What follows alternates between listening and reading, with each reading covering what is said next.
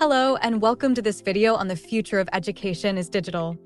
I'm here to share some insights and perspectives on how technology is transforming the way we learn and teach. The COVID-19 pandemic has disrupted the traditional education system and forced millions of students and teachers to adapt to online learning. This unprecedented situation has also accelerated the adoption of digital tools and platforms that enable more flexible, personalized, and interactive learning experiences. According to a report by McKinsey, online learning has the potential to increase access, quality, and affordability of education, as well as to improve student outcomes and satisfaction.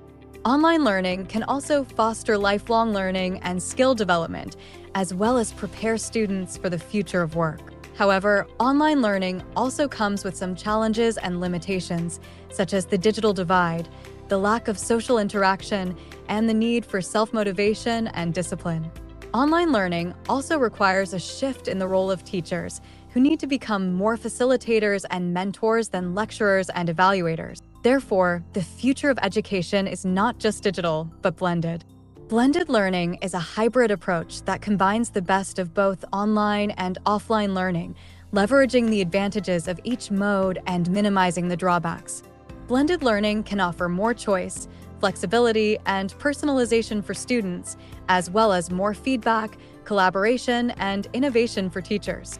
Blended learning can also create a more engaging and immersive learning environment by integrating various technologies such as artificial intelligence, virtual reality, augmented reality, gamification, and adaptive learning. These technologies can enhance the learning process by providing more interactivity, feedback, and customization, as well as by creating more realistic and meaningful scenarios and simulations. For example, imagine learning history by visiting ancient civilizations in virtual reality, or learning science by conducting experiments in augmented reality, or learning math by playing games that adapt to your level and pace. These are just some of the possibilities that blended learning can offer. The future of education is digital, but it is also human.